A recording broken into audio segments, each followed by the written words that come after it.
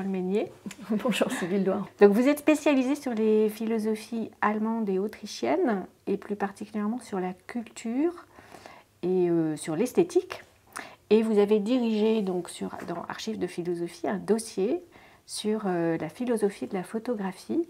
Est-ce que vous pouvez me raconter ce qui vous a amené à euh, imaginer ce, sujet, ce, dossier J'ai déjà un intérêt très ancien pour la photographie comme telle, comme art, euh, que je, je, multiplie les visites dans les musées, dans les expositions, dans les galeries. Donc j'ai un intérêt esthétique euh, propre. La deuxième chose, c'est que ça fait longtemps aussi que je lis de l'histoire et de la théorie de la photographie.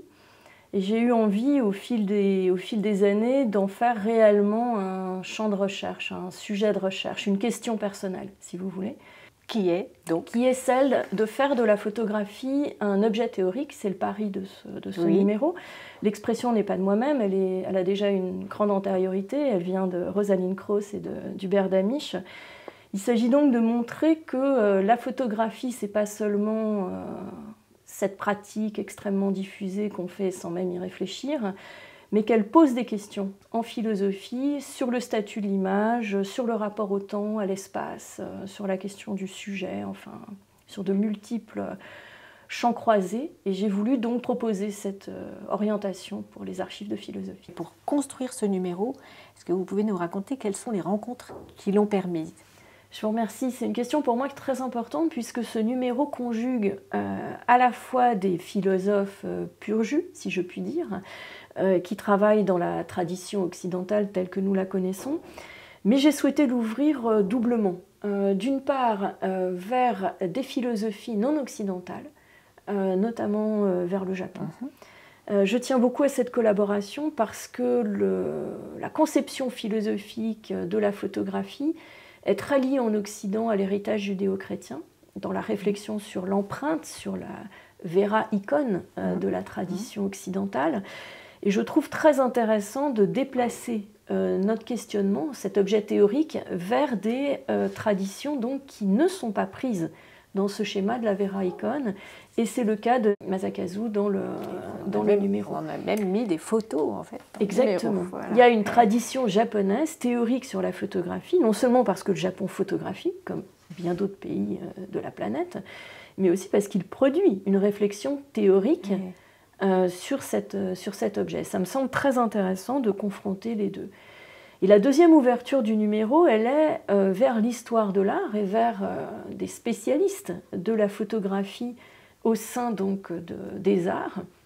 Et ça me semble là aussi très important de confronter le discours euh, philosophique sur la photographie à l'histoire de l'art, qui a une très longue pratique de cet objet depuis la naissance même de la, de la photo, et qui elle-même euh, n'a cessé de réfléchir à l'articulation entre photographie et peinture. Et donc je suis très attachée, euh, comme on le voit dans le numéro, cette interrogation d'histoire de l'art et des artistes sur la photographie est très loin d'être close. Euh, la question de qu'est-ce que la photographie est encore totalement ouverte chez les artistes eux-mêmes. Et donc ça m'a semblé très important voilà, d'ouvrir ce numéro vers ces deux prismes qui me semblent alimenter et renforcer, si je puis dire, ou si j'ose dire, le discours des philosophes. Dans ce dossier que vous dirigez, vous avez euh, signé un article qui s'intitule La radicale caméra-réalité de Siegfried Krakauer, dans lequel vous soulignez que, euh, comment pour ce philosophe, si je résume correctement, la photographie a une qualité propre qui en quelque sorte donne la parole au réel photographié, euh, et qu'elle perd si le photographe adopte trop la position du peintre. Est-ce que vous pouvez nous en dire plus sur ce sujet?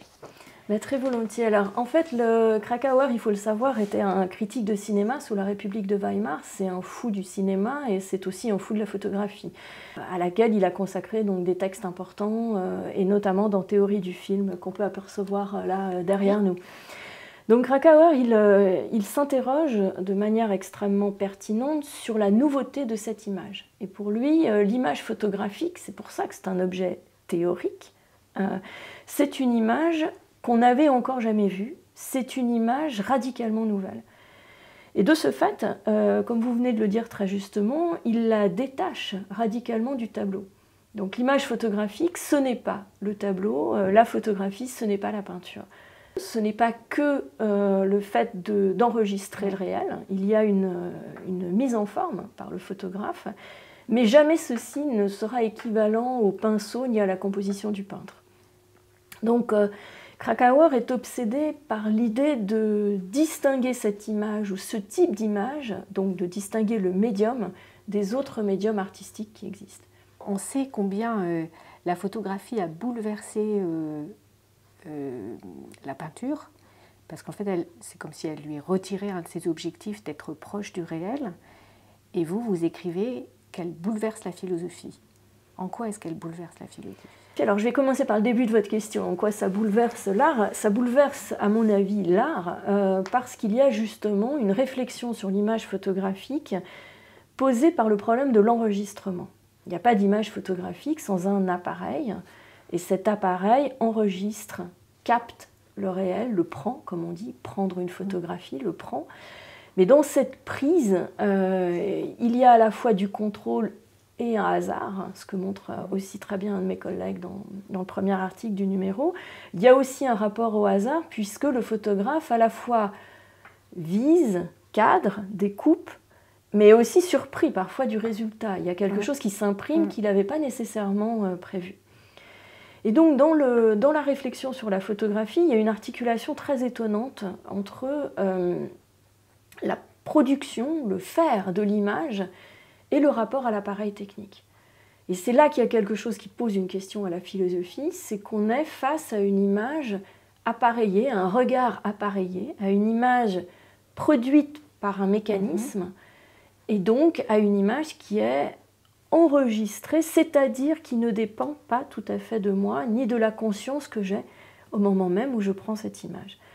Donc il y a quelque chose de très particulier qui intervient et qui pose des questions très fortes euh, à ce qu'est euh, la connaissance, le jugement, la perception, la lecture euh, d'une image. Toutes ces questions me semblent rebattues ou du moins déplacées par l'image photographique par rapport à la tradition qui, dans les exemples ou dans le, travail théorique, prenait beaucoup plus le dessin ou le tableau comme point d'appui.